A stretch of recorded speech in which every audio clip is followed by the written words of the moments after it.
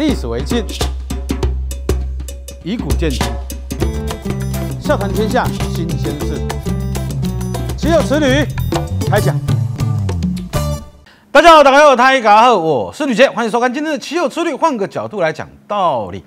啊，四月三号早上七点五十八分爆发了所谓的四零三大地震，它是规模七点二的地震。那距离上一次的大地震是一九九九年的九二一大地震，它是规模七点三的地震。那到底地震有没有周期呢？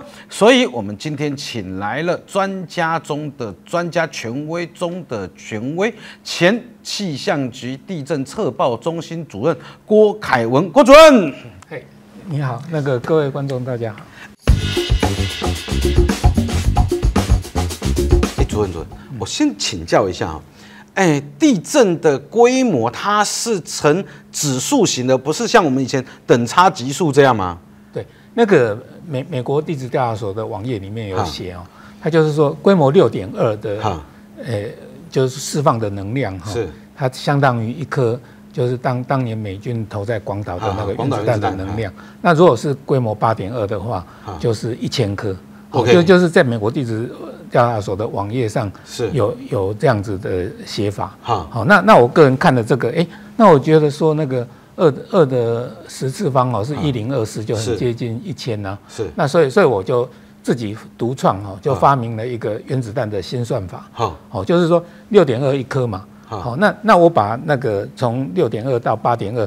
就分十阶，那每一阶每一阶每一个楼梯是爬零点二格，零点二格，好，就是这样子进阶上去。好，那六点二一颗，六点四就两颗，六点六就四颗，六点八就八颗，那七点零就十六颗，七点二就三十二颗。所以说我们这次七点二就是三十二颗嘛。好，那这样子你你算到最后八的八点二的时候就会接近一零二四。但是现在有一个问题哦，它规模并不是都是。都是双数的尾数，并不是都二四六八四。那就像七点三，那那怎么办？开根号。对对对，你说对了，开根号就是根号二。然后再严重一点，用 log 来算，你知道吗？就是根号二，就是七点二跟那个七点三是七点二的根号二倍，就是把它乘以一点四一四。是是是，这样这样子就就就就可以算出来。因为这次的地震叫逆哎逆冲断层向北破裂。这个这个名词太太太专业了，我们听不懂。对，其其实一般民众哈听到那个所谓的逆冲断层哦，就会就会很害怕。哈，好，那那其实断层哦有三大类了。一一一类就是逆逆冲断层，那一类是正正断层。那正正断层英文的名字就是 normal fault，就是正常的断层。是。那什么叫正常呢？就是板块哈裂开，那那个就是上面的就会掉下去。因为顺着重力的方向啊，苹果熟了会怎么样？会掉下来。所以就是往下掉的，他们认为 normal 就是正常正常的现象啊。但是下面的东西往上面跑，就逆逆着重重力在跑，所以所以就就是就是那个不正常，就是就是逆冲。那另外一种是平移的断层，我们台东重谷哦，就是就是平移的断层。那其实我们台湾百分之九十以上的。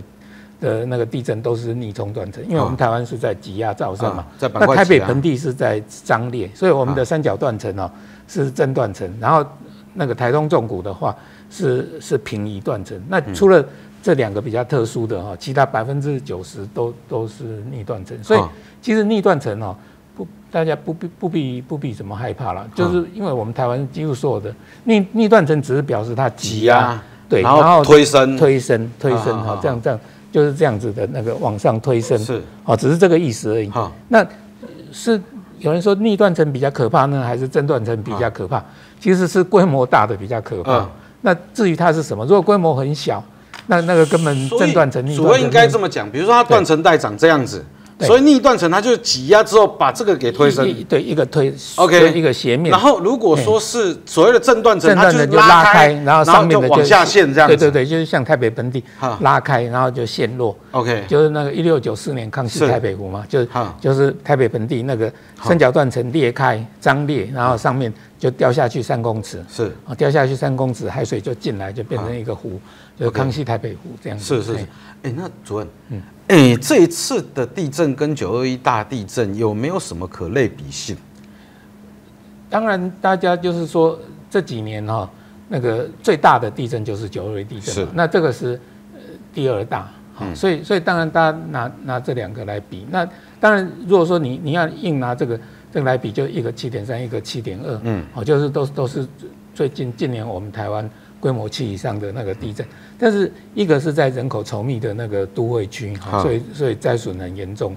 那个车龙埔断层，对，车龙埔断层动了，啊，死了一千两千多个人，两千四百多人，是两千四百多人，是啊啊，我们这次是是在那个海南山脉那个底下，除除了其实他们的规模有一点接近以外，哈，我我我觉得说，你与其拿它去跟那个。九二一地震比哦，不如他自己哈，台东重谷的地震自己比一比，嗯嗯嗯，就是自己超级比一比。那个我我们在一九五一年呢，就是民国四十年的时候，那个诶，就寒山脉底下哈，有有一系一系列的那个地震，哈，那那年的那个地震哈，那个诶规规模七以上的有四个，OK，嗯，好，那所以很大哎。规模六点几的哈，有十几个。哈哈哈。那那我们现在哈，但这这次那个如果跟一九五一年比哈，我我们现在还是比较小了。就是说，我我们主震是七点二，然后余震哈有有两个，一个六六以上的了哈，一个六点五，一个六六点二。嗯。好，那当当然那个现现在规规模五左右的，哈规模五以上的大概三十个，然后然后大家在说哦，余震破八百个，可是。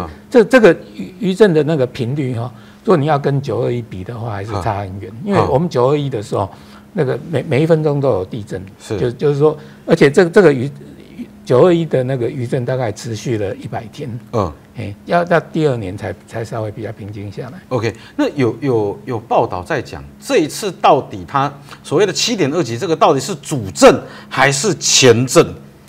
呃，这个问题哈，嗯，那个。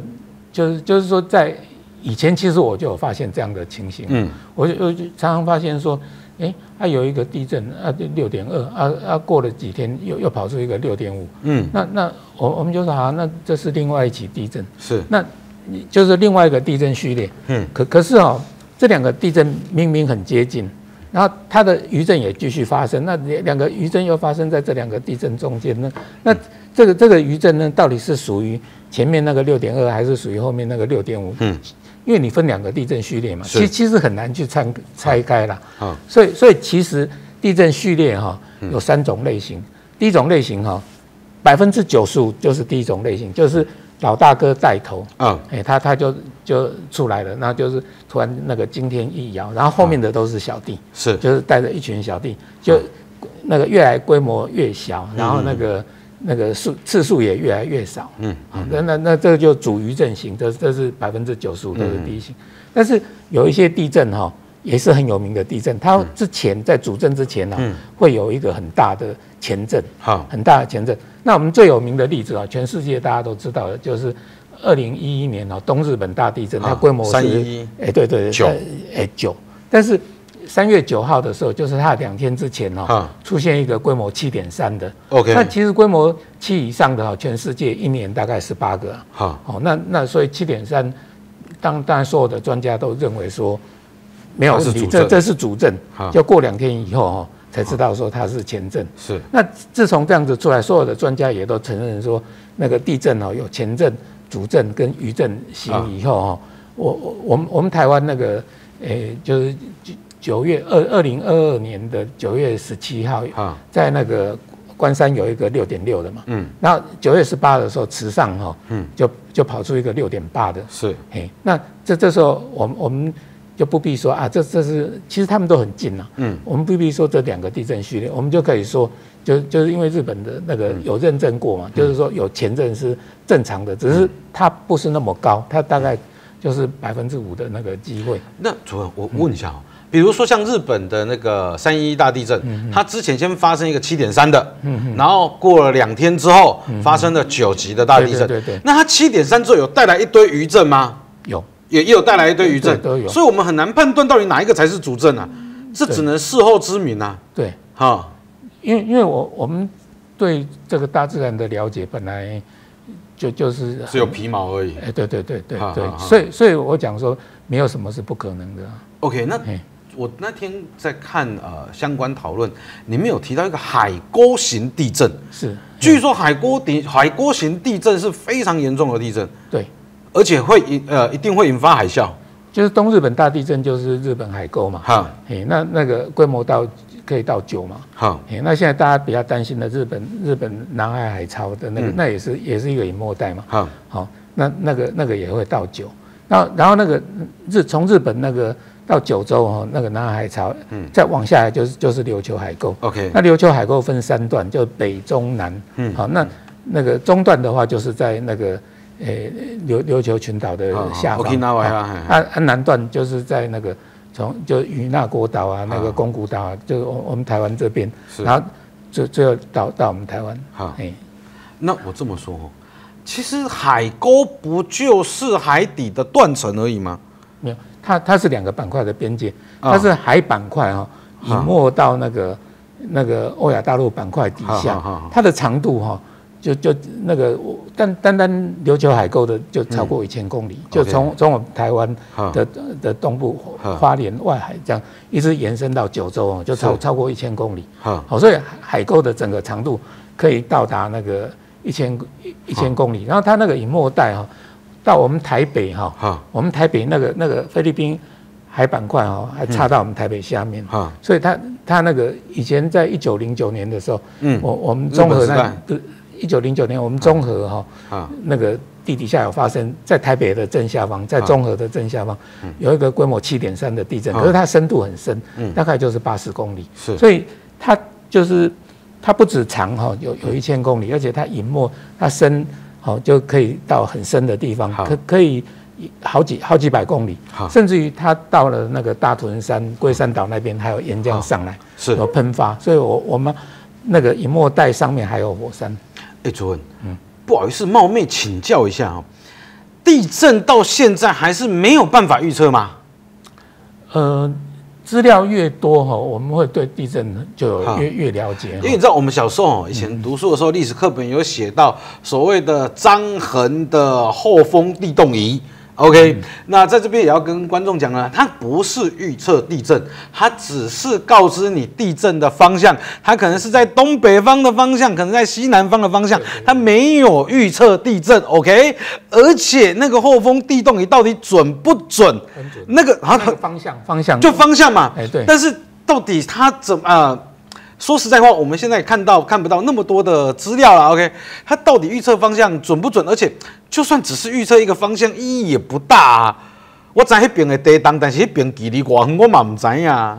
我没有，他们那个，其实其实我们中国古代的科技是是是很进展的，是是是很有发展。但但是他那个就是说，大概知道一个方向也就差不多了。哦，他他那个大概就分分分的那个，诶。八九个方向吧，哈，反正就诶东往东往南，他知道地震在哪个方向，他就可以往那个方向去搜救，去对对对，去就去看看那边的灾情是怎么样。其实那边如果说有受灾的情形，也会传回来，所以所以其实可以加快知道那个灾八百里加急，哎，对对对，就是就是说，那可是我我们后来后世只是可能可能因为很多战乱啊那些，就就是说那个。对，对于对于那个过去发生地震的那个历史哈，没有很好的那个记载。那我们因为我们刚刚谈到那个地震的那个周期嘛，其实日本哦，他们整理的很好，他们他们就是什么时候发生过大地震，什么时候发生过火山爆发，什么时候发生过海啸，哇，他们从公元六百多年就开始记载，记载的那个非非常非常的那个详细，所以所以。我我而而且日本也是地震发生最多的国家嘛，日本是全世界哈排第一嘛，它它那个有百分之二十一哈规模六以上的那个地震都发生在日本，那日本有一百一十一座的那个火山，哎，那我我们台湾有两个啦，就是说龟山岛跟大屯山。对啊，他但是日本有一百一十一个，所以所以其实他们对那个火山哦，也都是详细记载，从公元六百多年那个富士山就开始喷发，所以他们有一个很完整的富士山的那个喷喷发史。然后然后他们发现富士山哈，那个在公元一一零八三的时候喷发过哈，然后到一四就反反正隔了三百五十年了哈，好又又喷发。那这这两个距离哈啊，三百五十年是富士山哈间隔最久的，是哎间间隔最久的。然后以后有有的隔隔不到一百年，什么八十年啊、五十年，都都有小喷发了，都有。但是最长最长的平静期哦，就是三百五十年。对，我主要我就想问这个问题：地震真的有周期吗？在在日本，因为因为我们我们当然刚才主任你有提到哦，日本他们从公元前六百多年就开始记载嘛。对。可是台湾以前也没有留下什么记载，台湾确切开始有记载，或者是说呃有正史或者是正式的档案文字记录台湾，其实还是要到呃荷兰时期，一六二四年荷兰人来。那一六二四年以前哦，比如东番志啦、朱番志啦，他可能有提到，但是。到底是不是台湾都不确定？OK，那后来到日治时期开始哦，一八九五年日本人来到台湾，他开始可能有一些所谓的现代化、比较科学性的记载。所以光是这样一百多年的记载，我们有办法去判断所谓的地震周期吗？其实日本是可以的。哈，嘿，那个因为因为日本呢，他们过去记载的相当的那个清楚。嗯，然后日本的那个结构哈，其实应该是说不幸了，就就是说他们那个南南海海潮哈。一样是那个菲律宾海板块隐没到那个欧亚大陆板块底下，嗯。啊，但是它那个海沟非常非常大，是，然后那个它不断的那个隐没哦，嗯，然后它每隔一百年到一百五十年哦，就就会发生一次那那个南南，它那个海沟哦在隐没的时候哈，它是它是往下，那它往下的时候会有一些粘着区，两个板块粘住的地方，那它就菲律宾海板块往下的时候，它把那个呃。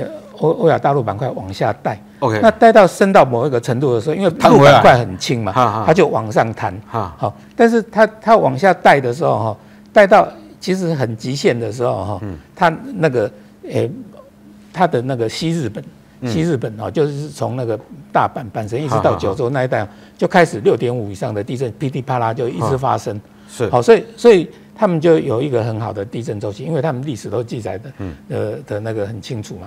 那那那个，所以所以在日本，他们已经研究的很清楚，就是南南那个南海海沟哦，它周期是一百到一百五十年。好，那它要发生那个大地震，就是要那个欧亚大陆板块要弹跳上来的前四十年开始哈。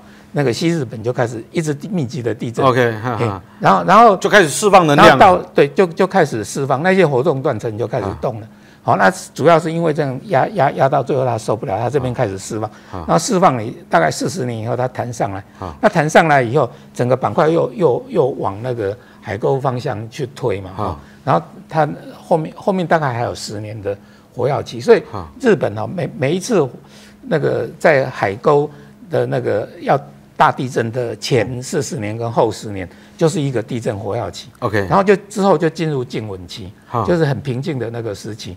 那因为他们的的周期，那个海沟是一百到一百五十年嘛，所以我们的静稳期哈，如果如果说这一次那个两个间距是一百年，那它就静稳期就是五十年。好，那那如果是一百五十年呢，它就可以平静一百年，就就会有比较长的好日子可以过。好，那然后之后。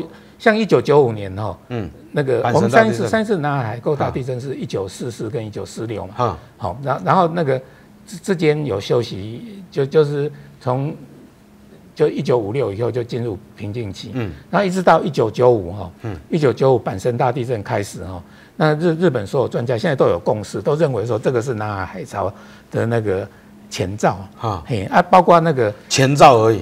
只是前兆，就是那个七点三，就是，OK，好然后包包括熊本的那个大地震，那个就是现在快八年了嘛，就是在那个四月十六号的时候，所以它是先一个诶规模六点五，就是前一天诶四月十四的时候一个一个六点五，然后四月十五的时候一个六六点三，嗯，然后最后爆发爆发一个七点三，嗯，好，他们认为这这这这这几个也都只是南海海沟的那个前震，前震，对，那其其实他们把整个西西日本哦，不不只是阪神，然后从从那个最东边是到阪神大地震，最西边到熊本大地震，那中间那个什么呃山口县啊，什么那妙举县那边都发生很多规模六点五以上的地震。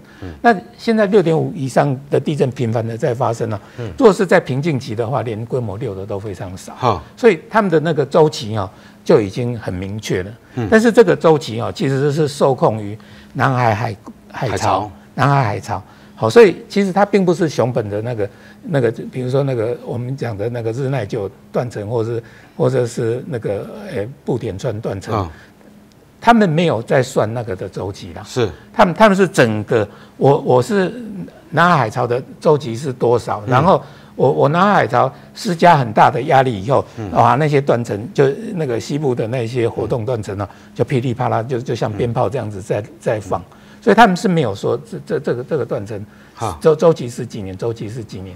好，那这这是日本他们研究的很独特的那个地方。那主那回到台湾了，对，回到台湾有吗？哈，回到台湾那个，其其实我们汉刚刚你讲的嘛，就汉汉人开始那个开呃开垦台湾，大概有四百年的历史。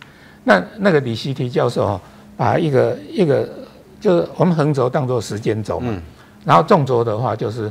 发生那个，诶，什么时候发生地震？嗯，好，就就是，然后规模有多大？那大概，因为以前没有地震仪嘛，所以反正就是防止倒一片那个死伤惨重的那那些地震，然后就把它把它画起来，就发现每一个世纪的那个，就就是每一个世纪的前五十年哦，就就是就是很多很多灾害性大地震活跃期，然后后后五十年就是一个平稳期。嗯，诶，就是说从那个，呃，十六世纪是这样，十七哈。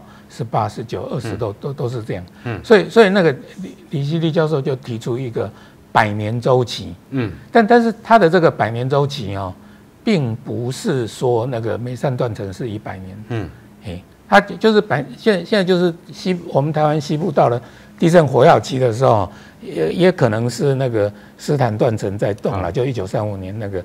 那个也也也可能是眉山断层，也可能是车龙不断层。这个作作用，我们等下再来聊眉山断层啊。我们常在看地震的新闻里面，会有一句话叫做“正常能量释放”，那所以就有不正常的能量释放喽。诶，其实正常能量释放哦，是我用的啦，是是是是是我说的。那那个它的相反不是不正常能量释放。就是能量没有正常释放，OK，就是我现在能量哈，能量就是一直不断的在那里累积哈。那只有有释放跟没有释放这两种，所所以没有没有所所有的能量释放哈。比如比如说你说车龙不断层哈是七点三，那可是台湾过去七点七点三的七点几的也是很多啊。嗯，那累积到。就是说足够长的那个时间哈，嗯，那那那这样子都是正常能量释放啊。如如果说你说台湾西西部哦发生一个规模八点几的地震，那那那个我就说那个是不正常。为什么？因为我们台湾的那个西部的那个断层哦，嗯，就是南南如果是南北向的，它大概就是一百多公里嘛，比较短，比较长。南南北向的比较长，因为我们台湾是长的嘛。是。好，那那那那个，因为七点三，像特朗普整条都破了哈。嗯。就是七点三嘛，能量就到七点三。那眉山断层是东西向的，嗯，好，它比较短嘛，它大概就五十公里。那如果说它整条都动了，它可能规模是七点一，哈，嘿。那但是如果说，诶，那那那你你我们西部过去也发生过，那个以后也会发生。那七点三，你能够像九一，我说这个是正常能量释放，你你你你能够说，诶，它是不正常吗？因为过去也常常在发生啊，未来也会有啊，嗯，好，那而且它长，呃。它破裂断层的那个长度所释放的能量哈，其其实越长能量越大。哎，对对，越长能量越大。啊，但是如果说跑出一个八点几的那个，那那个就不正常了。因为一九二零年的时候，花莲也发生过规模八的地震。对，那那是海沟型地震，那那又是另外一回事。是，我我我们现在哈有三个区要分开来讨论。一一个是海沟，嗯，好，海沟就是外海的。是，那那一个是东部，就是中央山脉跟海岸山脉两个在互相碰来碰去，在在对峙。好，这是一区。然后西部，西部是都是活断层啊。嗯，西西部是绝对不可能有八的那个诶地震啊，绝对不可能，绝对不可能。若若有八，我就说它是不正常能量释放。好，那那那个，所以所以七点三的话不正常的啊。七七点三的话，因为九九二一地震的时候，人家问我说这这是什么？我说这是正常的能量释放嘛？啊，那那那个，如如果说老百姓不管他听得懂听不懂，他听了都会很放心了。好，好，那那那个，但是八的就是不正常。但是我说的正常能量释放的反义词啊，是能量没有正常释放。对对对，能量在累积。嗯，就是一个是能量释放的，一个是能量累积的。啊，其其其实我就只有这两个意思。所以能量累积是比较可怕的，它累积到一定程度所爆出来会更大。对对对对对。那我们来聊一下刚才才提的眉山断层。对，所以呃，很多专家都说要注意一下眉山断层，对，要注意什么？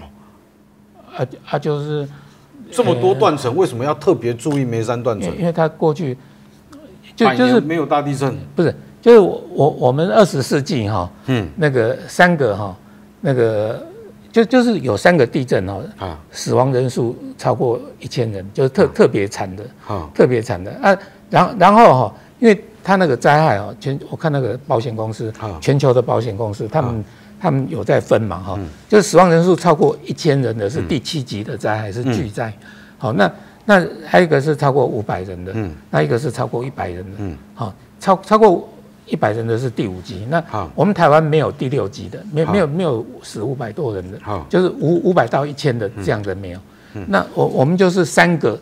死亡人数超过一千人的，是，然后，然后再来就超过一百的，也就就蛮多个，包包括，诶，就是说嘉义中埔地震的，是，那个那个其实是跟梅梅山是同等级的，都是七点一，嗯，好，就就是说那个释放二十三颗原子弹，梅山也是，梅山是一九零六，中埔是一九三一，但但但是。都是七点一，但但是梅山很受重视，因为它死亡人数超过一千人。OK，那啊那个中埔大概超过一百人。好，哦，所以一个是第五级，一个是第七级。哎，所以所以那个中中埔那边其实也要担心了。好，啊啊，但是我觉得说大家都没有去重视它了。好，哎啊，那个我我们是二十世纪哈，就一九零六眉山死亡超过一千人嘛。嗯，然后再来就是一九三五哈，新竹台中列阵，它正央是在苗栗的关刀山。好，那那个死亡。那个最多，那个那个三千五百人，好，就是一九三五的，是，然后然后那个再来是一九九九是两千四嘛，就就是这这这三个地震是死亡人数超过一千人，所以我们我们大家这三个地震就都印象深刻，嗯，哎，就就把它记得，因为刚才主任有提到，就是日本有三大危机嘛，那其中一个，哎，南海海潮。这个我们刚才聊过了嘛？那还有一个叫做首都直下型地震，还有富士山喷发。那什么叫首都直下型地震？日日本的首都在哪里？哎，在东京嘛。其这个这个有很多种说法，但目前大家想到日本，想到都是东京的。哎呀，他东京哈有一个，就是说拿出去是全世界第一的，但是这个这个不是值得骄傲的世界第一，是是令人恐惧的一个世界第一。你你你有听过说哪一个地方是三个板块交接在一起的吗？嗯，没有，大概就东京而已。对对对，我我们台湾两个板块已经很烦恼了，就是欧亚大陆，然后那个那个菲律宾菲律宾海板块。那东京的那个底下哈，它最上面是北美板块最上面是北美板块，然后那个菲律宾海板块哦，有有那个隐没下去，它是从那个神奈川哈，OK，那个外面有有一个那个诶。就就是有一个相模湾嘛，好，哎，啊就就从那边插进去，是，好，那插插插进去以后，那个外面哈，在那个东东边哦，太平洋板块又插到那个太平洋板块，大插到那个菲律宾海板块底下，所以所以东京的人哈，他可以跟全世界的人讲说。我我是站在三个板块之上。这里面在跟他玩有啦，安怎？哎，你别你别嘛不爱好你呀。就是它是全世界唯一哈。好，三个板块北美板块，然后那个菲律宾跟太平洋板块，然后最下面是太平洋板块。三个板块交接在一起。OK。其其实是日本的那个大地震哦，上一次哦，嗯，是一九二三年的九月一号。那他们他们对这个地震哦。就把它定为防灾日，他们这个地震相当于我们的九二一地震。嗯，我们九二一是防灾日嘛？是。那我我们要那个以后的那个子子孙孙哈，每每年九月一号都要演习啊，就是说九二一曾经有两千那个四百人那个不幸往生啊，那要怎么逃难？怎么那个诶，就是要到操场去，要要怎么样啊？就就是都都都有教嘛。啊啊，日本是每每年的九月一号。就来防灾演习。好，那什么叫直下型的地震呢？直下型就是它的震央就是在东京的正下方啊，嗯，就是比较广义的啦。就是说，正那如果这样子，神奈川它南边的神奈川或者或者是它上面的那个埼玉县，或或者是那个诶，它它东边的千叶县，这这些都算了。就是因为这边都是三个板块交叠在一起。那吉吉大地震也算直下型地震啊，它就是在吉吉的下面啊。对对啊，他就是说对吉吉来讲，那个九二大地震是是算直下型地震，就就我我就是在正央的正上方，OK，这样子就叫直下型地震。是是。那那那富士山到底会不会爆炸？会不会喷发？富富士山他们认为是周期到了啦，因为因为他们的记载那么完整哈。富士山过去就是，诶，就一一零八三到一四一四多少嘛，就中间最长一次的平静期。三百五十年哈。诶，他他那个还不是算。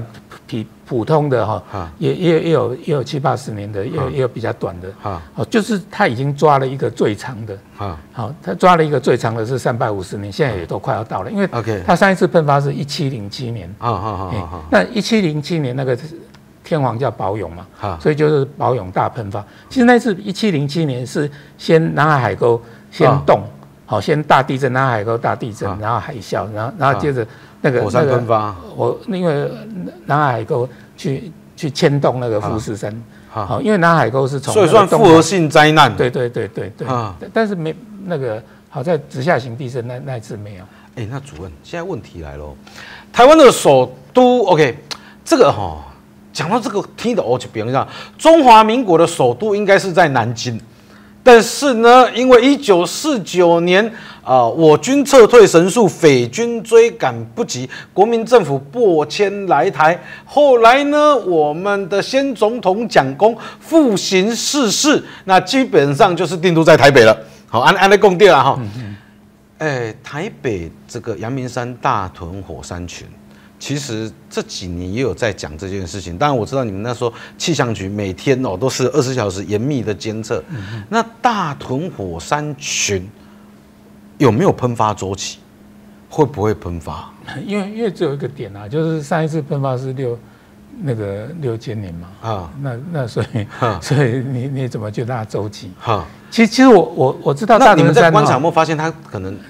最近又比较活跃，跟呃可能三十年前、四十年前比，目目前我们看起来是很安全的。它它那个就是大大屯火山真正的活跃期大概是八十万到二十万 OK 年前哦哈，那个其其实一般人想说八十万二十万好像很久，但是对我们地质学家来讲啊，那那八十万是很新的事情啊，一百万年都很新 OK 好好。所以所以那个其实大屯火山。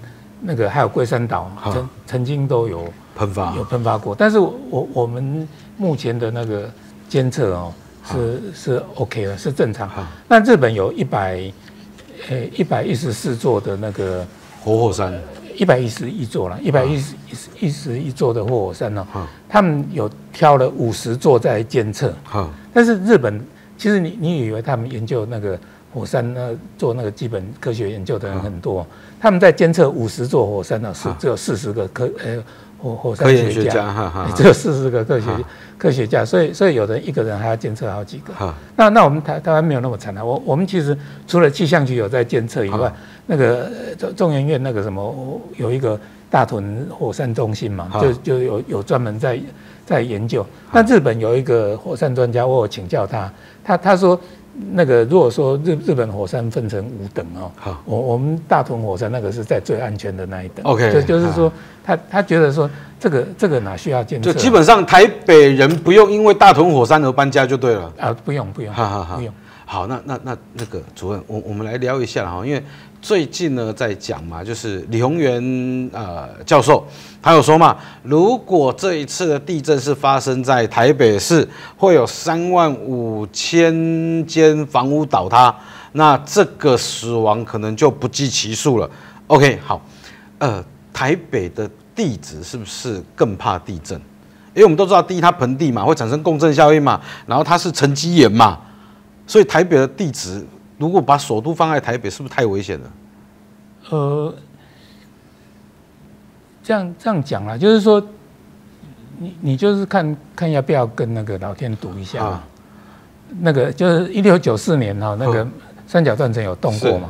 那那大家说，那那这个一六九四年之前什么时候动过？不知道了哈。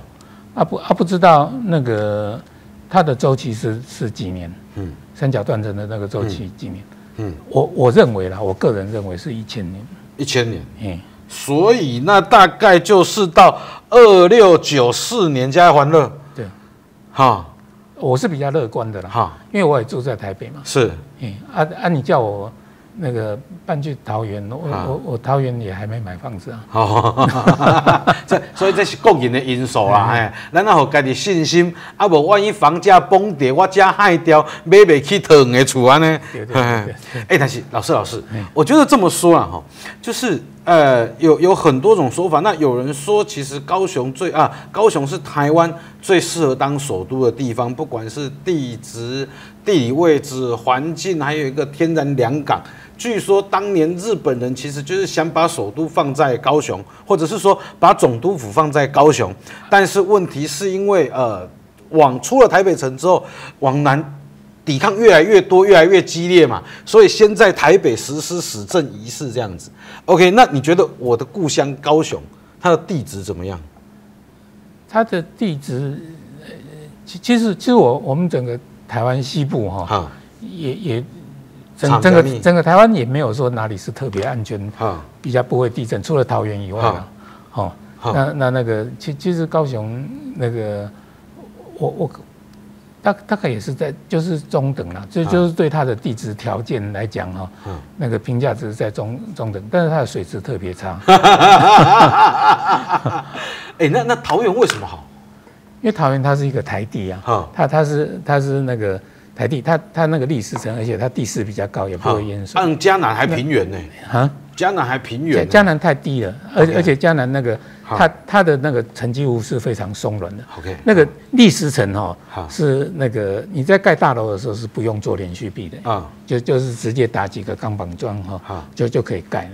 哦，就是就是说那个呃，它你说桃园。对对，桃园它那个砾石层，就是地地来的时候，它是算坚实地盘，也不太容易震。OK，好，哎，那那老师安内贡啊哈，啊，台湾这么多年来，因为我们地震啊、台风什么都很多嘛，你觉得台湾人对于防震的概念到底好不好？这次日本的报道说，台湾人防啊防震防灾的概念非常好啊。对啊，所以所以我们有时候不要自己吓自己了。哈，其其实我我我觉得我我们跟那个。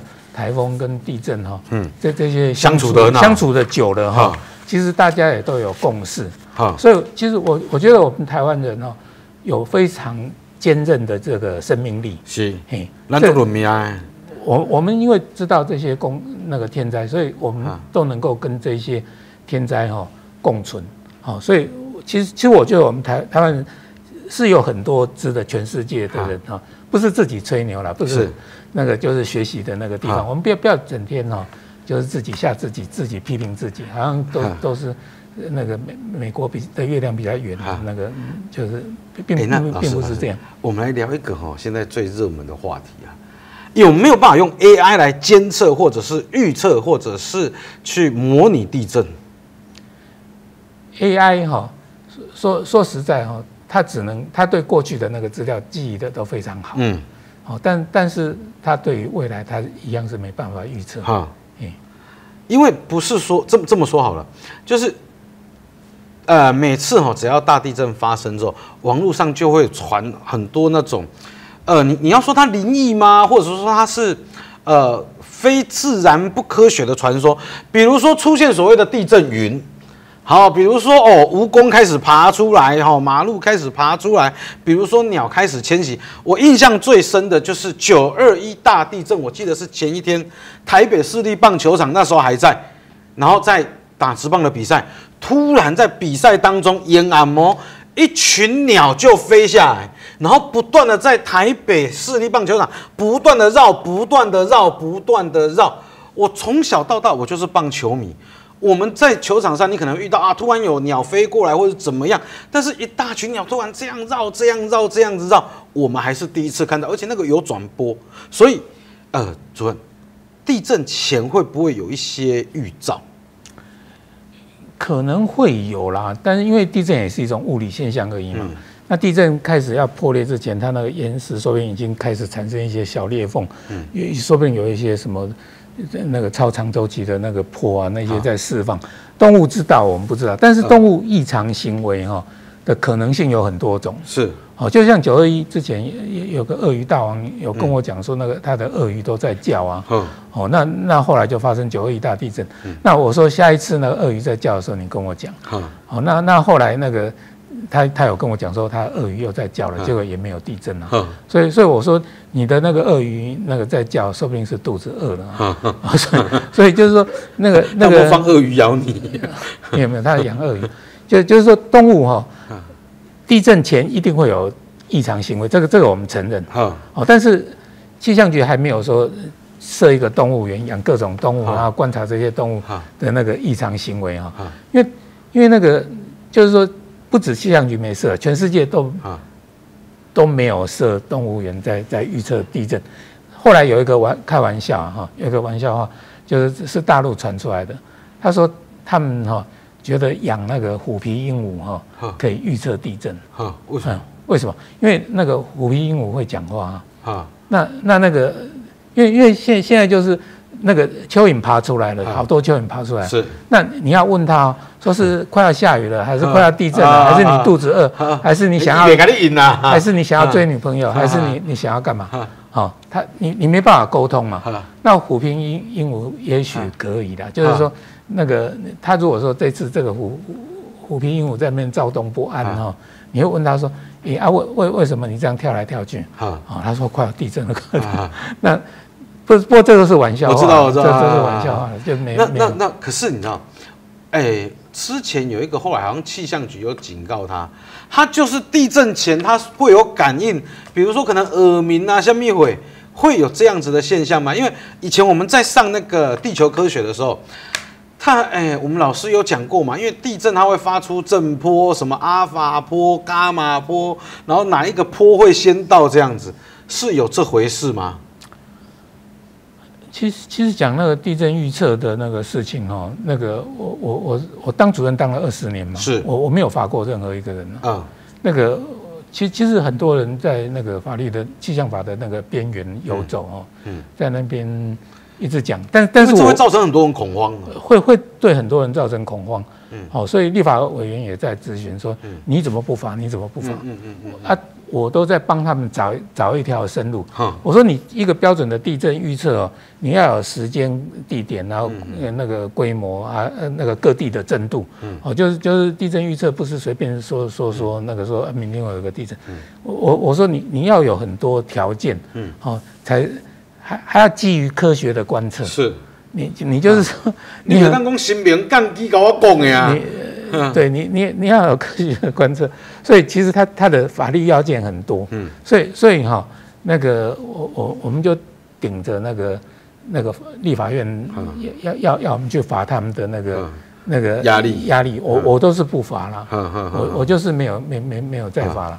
那那个其实郑明典有来过我们的，有有有，他他的观念也跟我蛮类似的，他说让他去讲啊，讲了他不准，就老百姓就不会信了。啊啊！你你你你就越越不准他们讲，他们越要讲。不是啊，可是我们像我们身为媒体，我们会推波助澜啊。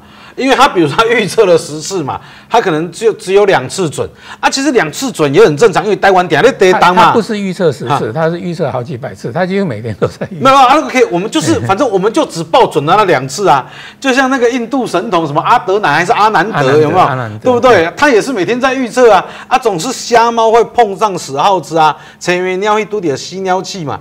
可是当有媒体推波助澜，或者是在网络上推波助澜之后，他可能一。个一个小动作，或者他一篇文章，会造成很多人恐慌。你像二零一二年那个时候，号称世界末日，哎，今天我破啊，一杯求生舱啊，好的多基础啊，然后还有一个什么大师先知跟你讲会发生什么十一级的大地震啊，今天都人一怼，你知道不？对对对。第二阿琼这种哎，他哦，比如他他他可能预测地震，但是没有准，或者是他是不是真的有特殊的体质？我马格里来研究一下。你们有去想过这件事情吗？我们要做的事情太多了啦，还还就是说优先次序还排不到这个。是是是是是。那家家两个差别了，个差别了破哎哎哎。哎，那那主任，我们最后来聊一下哦，就是，哎，目前全世界还是没有能力去预测地震，或者是说，最少我们知道哦，可能一分钟后地震要来，五分钟后地震要来，也没有办法。所以地震预警哦，是台湾跟日本有在做了。好，我我们可以争取，其实其实地震已经发生，地震预警哦，不是地震预测，是地震已经发生了，只是你利用电波跑的比那个诶地震波要快的那个特性哦，去去警告说可能哪里有大地震这样子。那如果像浅层地震呢，也来不及预警啊。不过你来不及预警。比如说，你花莲的地震对花莲是来不及预警，但是对台北是可以啊。好好好，就是就是用空间空间换取时间这样子，就是就是说对比较远的地区去去做预警。OK，好，那最后海啸嘞？海啸台湾哈那个唯一的一次是一八六七年啊，就是基隆的那边有有那个那个大海啸，那个大概有到六公尺了。因为这一次听说海啸警报那时候是三十公分，嗯嗯，三十公分应该是还好吧？还好，告告告啊不告卡塔夫哎！我举一个例子啦，就是说那个一九那个一九六零哈，不是智利有一个规模九点五，这是有史以来有观察观察有观测地震以来有定出规模最大的是九点五嘛？是。哦啊，智利发生大地震然后海啸，好，然后那个海啸哈有到到那个九州熊本了，但但是台湾没事。哈。哎，那个熊本的那个什么天朝湾呐，那个那那那边都有海啸，哈，就是海海水还有进入那个那个有名海，就是。就是其其实你你看哦，那个日本是很容易发生海啸的那个，因为他们的岛屿峡湾啊那个很多，而而且他们那个地形哦是有由浅慢慢。那个由由深慢慢变浅，有有这样子的让海啸波去堆积的。是。那我们东部的那个就是一个大峭壁，海啸波过来就把你弹回去。所以，所以我们台湾不怕海啸，比比较不怕。就是说，那个日本它每每那个十年发生一次，一次海啸灾难。我们台湾说说一百年都还，就是说还没有没有那么多哎，因为我们算是一八六，因为我们西部这边应该也不会有海啸嘛。不一定，对，那个不一定。我们这个那么小哎，啊，我我们那个我们台湾南部不是有一条马尼拉海沟啊？嗯，所以那海海下还有一个发生的原因是陨石撞击啊，不过就是可能不会很衰啦啊。但是如果说有有一个那个陨石很大的陨石去撞到南海啊，那个南部也是会海啸，南南部也有可可能发生海啸。其实海啸多半是地震造成的，但。但是也有可能是山崩，也也有可能是陨石撞击，就是什么什么可能都是有的呢。好，那我最后还想问这个主任一个，呃，他会认为很科学的问题，我会认为很不科学的问题，就是我们刚才节目一开始讲到那个后风地动仪啊，嗯嗯，它到底是主任，你有没有想过去它是什么样的构造，可以精准的、精准的预测地震的方向？不是，它它上面哈。